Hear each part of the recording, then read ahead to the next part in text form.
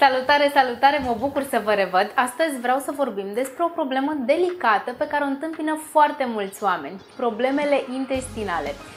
Cu siguranță vă este familiară senzația de balonare, însă ce s-ar putea să nu știți este că nu trebuie să o tratați ca pe o normalitate pe care să o asociați cu înaintarea în vârstă, poate, sau cu un număr mai mare de kilograme.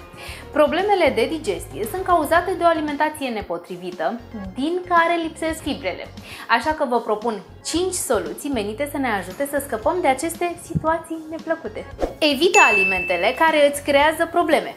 Există câteva categorii de alimente pe care ar fi bine să le consumăm cu moderație pentru că încetinesc tranzitul intestinal. Alimentele grase sau prăjite, dar și mâncărurile foarte picante care irită esofagul și provoacă arsuri.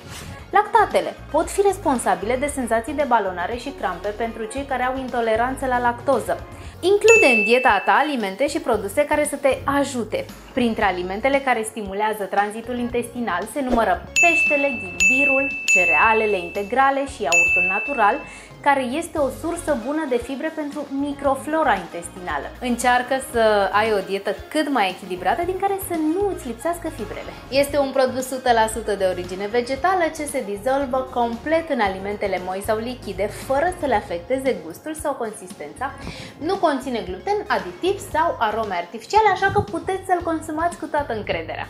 Încearcă să faci mișcare zilnic. Fie că mergi pe jos, că noți, că te plimbi cu bicicleta sau chiar că urci scările, încearcă să faci cel puțin 30 de minute de mișcare în fiecare zi. Astfel de activități accelerează digestia, cresc fluxul sanguin la nivelul tuturor organelor și stimulează musculatura de la nivelul tractului gastrointestinal.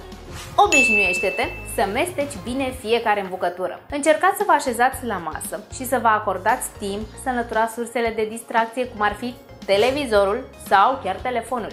Se recomandă să mestecăm fiecare îmbucătură de 20 de ori pentru ca stomacul să poată digera toți nutrienții pe care îi oferim. Nu uitați să vă hidratați!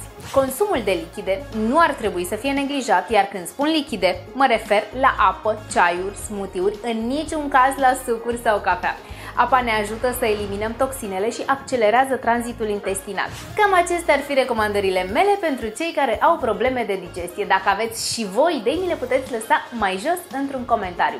Iar dacă vreți să testați produsul despre care v-am vorbit uh, mai devreme, vă invit la un concurs pentru că am 5 cutii care pot ajunge la voi. Împărtășiți videoul cu prietenii voștri și lăsați-mi un comentariu în care îmi spuneți care sunt alimentele care vă dau bătăi de cap. Vă pup și sănătate!